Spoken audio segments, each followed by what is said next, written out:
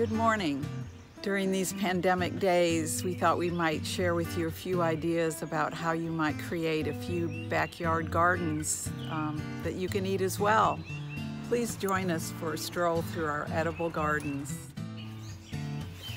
One of our favorites is our fig tree. We share them readily with the birds every summer and they do great in our area. We've started some transplants for the vegetable gardens. Um, got peppers, tomatoes, squash, cucumbers, melon, and Maximilian sunflower seeds for the birds. We have one rhubarb plant that comes back every year, which is a miracle in the south. In this part of the garden, we have four plum trees, seven goji berry bushes, an elderberry bush, and two Montmorency cherry trees, which are self-pollinating. We're allowing the vegetable garden to go fallow this year it's covered with cardboard, hay, straw, leaves, and just compost. We'll see how the container gardening goes this summer. Another favorite are these primocane thornless blackberries. We've planted them all up and down the blueberry patch and they are prolific bearers. They do great in our area. And again, we use no sprays. It's all organic we can come out here and just pick them right off the bush.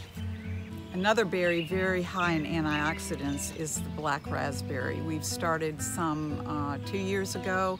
We're letting them bramble and hope to see some more this summer. Hi, this big thing behind me is about four or five kiwi plants. They've been there about 10 years and I think we've gotten one kiwi off of it. This particular kiwi is meant to grow in the in this climate, but uh, we're still waiting for it to get mature. And uh, but it's been fun, and we're still hoping that this year will be our first harvest. Near our house is an older vegetable plot in which we have a few things, one of which is some asparagus that we tend to neglect and it goes to seed. We do have a bit left here in the midst of some wonderfully growing elephant garlic. Here are two apricot trees that we started from very small plants. These are the kind where you can eat the pit. They have immense anti-cancer properties, and we hope to get some this year. We were blessed 26, seven years ago when we bought this property with the woman who had owned it before us, having planted 40 blueberry bushes. They are now 30, some of them almost 30 years old. Some of them have been replanted recently, and we've added a, a, number of varieties. They say you're supposed to have at least three varieties to get good blueberries. Well, I think we have four or five. I can't tell you all of them because I don't remember. But the, the absolutely sweetest one we have on the property is this one right here. It's called a pink lemonade. And the berries are a little deceiving when they're growing because they are red when they're actually fully ripe, where most of the blueberries are red about halfway ripe. And so, but those things are seriously some of the sweetest things you've ever eaten and just right off the bushes. We don't get too many to the house. Uh, behind me over here are some that came up just as volunteers basically. And these are about two years old and they will actually start bearing fairly well in the next year.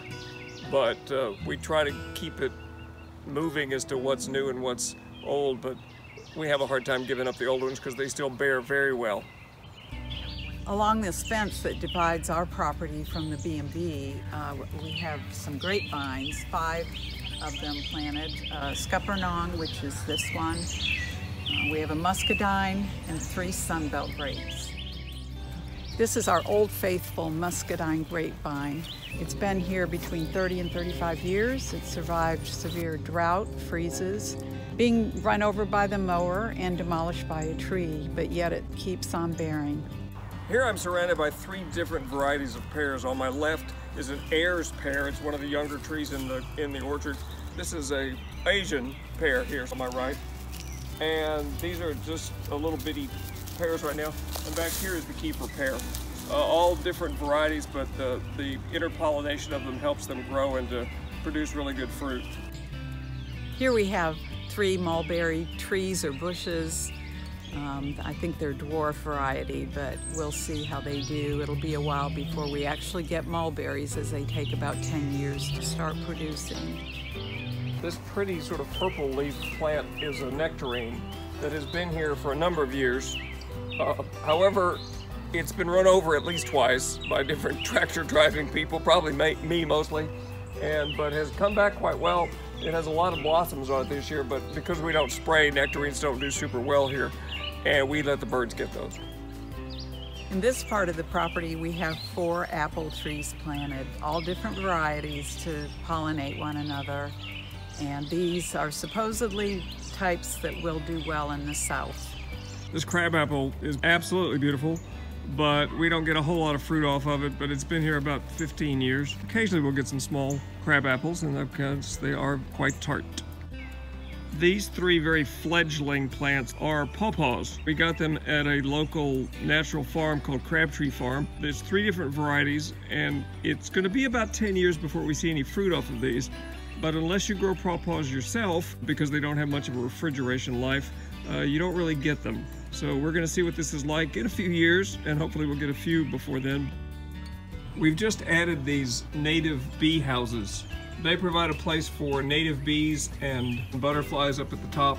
And you put them right next to the things that they would like to pollinate. The native bees pollinate, I think it's about three times more than the regular bumblebees or even the honeybees. So that's why we're going to try to attract them here. And we've seen a few this year already. This is our first attempt at container gardening and already we've planted some tomato plants from Costco, a few pepper plants, and we have a little bit planted in the garden, some squash. We'll see how it goes. Thank you for taking time to stroll with us through our edible gardens. We hope we've given you some ideas of what you can do in your backyard. Have a great day. Thank you.